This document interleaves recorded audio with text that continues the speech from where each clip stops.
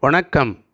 நான் உங்கள் Ilayakumar leader trainer scouts இன்றைய காணொளியில் முதலுதவி பகுதியில் கேரேஜஸ் கேரியிங்ஸ் விபத்துக்குள்ளான ஒருவரை எவ்வாறு ஓரிடத்திலிருந்து இன்னொரு இடத்திற்கு தூக்கிச் செல்வது என்பதை பற்றி நாம் தெரிந்து கொள்ளலாம். நண்பர்களே விபத்துக்குள்ளானவருக்கு முதலுதவி செய்வது என்பது ஒரு மிகப்பெரிய கலை மிகப்பெரிய உதவிதான். அதில் முதலுதவி செய்வது என்பது ஒரு பகுதி இருந்தாலும் பாதிக்கப்பட்டவர் அல்லது விபத்துக்குள்ளானவரை ஒரு இடத்துலேருந்து இன்னொரு இடத்துக்கு அழைத்து செல்வது என்பதிலே நிறைய படிநிலைகள் இருக்கிறது. முதலுதவியாளர்கள் என்ன சொல்கிறாங்க அப்படின்னு சொன்னால் முதல்ல விபத்துக்குள்ளானவரை அந்த இடத்திலிருந்து அசைக்காமல் இருப்பது டிரான்ஸ்போர்ட் பண்ணாமல் இருக்கிறது தான் நல்லதுன்னு சொல்கிறாங்க ஆனால் சூழ்நிலைக்கு தகுந்த மாதிரி நாம் அவரை ஒரு இடத்திலிருந்து இன்னொரு இடத்திற்கு கொண்டு செல்ல வேண்டிய கட்டாயம் இருக்குமே ஆனால் அதாவது வெப்பநிலை காரணமாக மழை பொழிகிறது அதிக குளிர் காரணமாக அல்லது அதிகமாக போக்குவரத்து இருக்கக்கூடிய இடங்களிலே அந்த விபத்து நடந்திருக்கிறது என்று சொன்னால் மேலும் அது அதிகமாக அதிகமாகிடாமல் இருக்கிறதுக்கு அவரை இட ஒரு இடத்துலேருந்து இன்னொரு இடத்துக்கு தூக்கிட்டு போக வேண்டிய சூழ்நிலை இருக்கலாம். அல்லது மருத்துவர் வருவதற்கு நீண்ட நேரம் ஆகலாம்.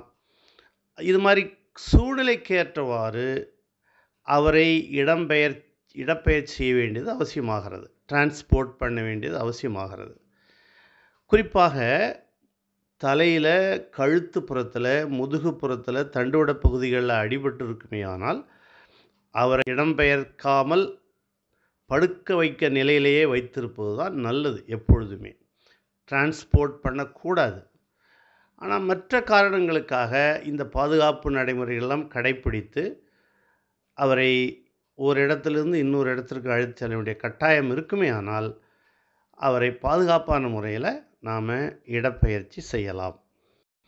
முதலுதவியில் ஒருவரை ஒரு இடத்திலிருந்து இன்னொரு இடத்திற்கு அழைத்து செல்லும் பொழுது முக்கியமாக நாம் கவனிக்க வேண்டியது அங்கு எத்தனை ரெஸ்கியூவர்ஸ் இருக்கிறாங்க எத்தனை முதலுதவி செய்பவர்கள் எத்தனை பேர் இருக்கிறாங்க பாதிக்கப்பட்டவர் என்ன நிலையில் இருக்கிறாரு என்பதையெல்லாம் பொறுத்து இந்த டிரான்ஸ்போர்ட் பண்ணுறதுனுடைய தன்மை மாறுபடும்.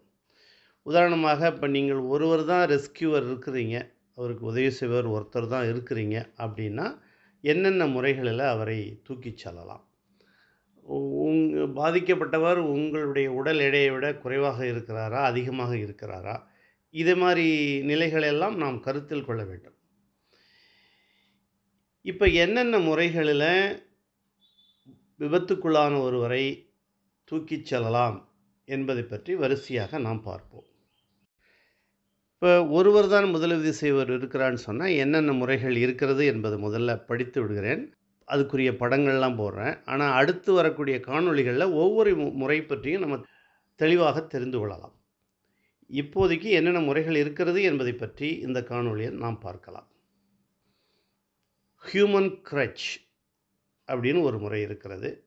அதில் ஒருத்தவங்க இருந்தால் அந்த ஹியூமன் க்ரச் முறைப்படி எப்படி அவர் தூக்கிட்டு போகிறது ரெண்டு பேர் இருந்தால் எப்படி தூக்கிட்டு போகிறதுங்கிறது ரெண்டு விதம் இருக்கிறது. ஹியூமன் க்ரச்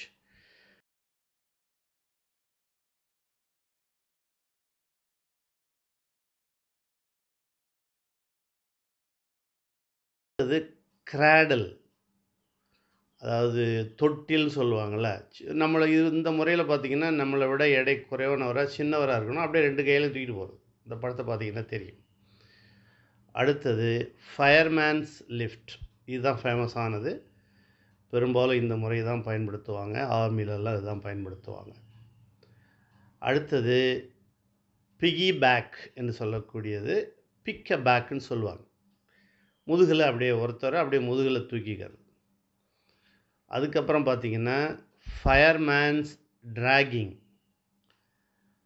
அதுக்கப்புறம் ஆங்கிள் புல் கணுக்கால் பிடிச்சி அப்படியே இழுத்துட்டு போகிறது இதெல்லாம் தவிர்க்க முடியாத நிலைகள் தான்.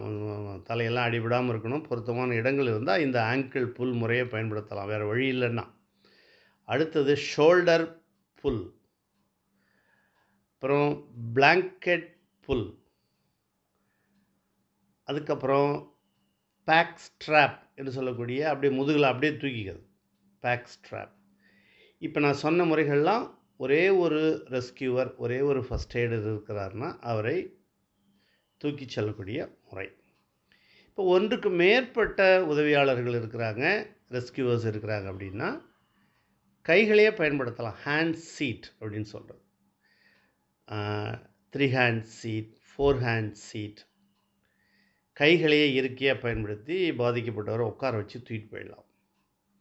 அடுத்தது சேர் கேரி நாற்காலில் உட்கார வச்சு அப்படியே தூக்கிட்டு போகிறது சேர் கேரி அதுக்கப்புறம் ஹியூமன் ஸ்ட்ரெச்சர் ரெண்டு மூணு பேர் நின்றுக்கிட்டு அப்படியே கீழே கையை கொடுத்து தூக்கிட்டு போகிறோம் அதெல்லாம் நேரடியாக நம்ம காணொலியில் அப்புறம் பார்ப்போம். இப்போதைக்கு இந்த படத்தை பேரை மட்டும் தெரிஞ்சுங்க. அப்புறம் ஸ்ட்ரெச்சர் லிஃப்ட்னு சொல்லுவாங்க. அதாவது ஹேமாக் கேரி அப்படின்னு சொல்லுவாங்க. இந்த முறையில் தூக்கிட்டு போகிறது அடுத்தது இம்ப்ரவைஸ்டு ஸ்ட்ரெச்சர்ஸ்னு சொல்கிறது அங்கே இருக்கக்கூடிய பொருள்களை பயன்படுத்தியே பாதிக்கப்பட்ட ஒருவரை தூக்கிட்டு போகக்கூடிய முறைகள். குறிப்பாக சாரணர்கள் இருக்கிறாங்கன்னா ஸ்கவுட் மூமெண்ட்டில் இருக்கிறாங்கன்னா கைகளில் இருக்கக்கூடிய ஸ்டேவ்ஸை பயன்படுத்தி என்ன பண்ணலாம்? பிளாங்கெட்டை பயன்படுத்தி ஸ்ட்ரெச்சர் உருவாக்கி படுக்க வச்சு தூக்கிட்டு போகலாம். நாட்டிங் ரோப்பை பயன்படுத்தி ஸ்ட்ரெச்சர் உருவாக்கி போகலாம். அடுத்தது க கையில் இருக்கக்கூடிய ஸ்கால்ஸ் கழுத்தில் போட்டிருக்க கழுத்துக்குட்டைகளை பயன்படுத்தலாம். ஷர்ட்டியை நம்ம போட்டிருக்க ஷர்ட்டை பயன்படுத்தலாம். கோட் பயன்படுத்தலாம். ஆக இது மாதிரியான முறைகளில் நம்ம பாதிக்கப்பட்டவரை விபத்துக்குள்ளானவரை நம்ம தூக்கிட்டு போக முடியும். அடுத்தது ஃபோர் அண்ட் ஆஃப்ட் ரெண்டு பேர் தூக்கிறது. முன்னாடி ஒருத்தர் தூக்கிறது பின்னாடி ஒருத்தர் தூக்கிறது. Fore and aft method before and after அப்படிங்கிறது தான் ஃபோர் அண்ட் ஆஃப்ட் மெத்தட் என்ன நண்பர்களே இந்த காணொளி உங்களுக்கு பயனுள்ள வகையில் அமைந்திருக்கும் என நினைக்கிறேன். இன்றைய காணொளியில் விபத்துக்குள்ளான ஒருவரை எவ்வாறு தூக்கிச் செல்வது என்பதை பற்றிய செயல்முறைகளுடைய நிலைகளை தெரிந்து கொண்டோம். அவைகளுடைய பெயர்களை தெரிந்து கொண்டோம். வரக்கூடிய காணொளிகளில் ஒவ்வொன்றை பற்றியும் நாம் தெளிவாக விரிவாக காணலாம். வேறொரு காணொளியில் புதிய செய்திகளோடு உங்களை சந்திக்கிறேன். சாரணியத்தில் என்றும் உங்கள் இளையகுமார்.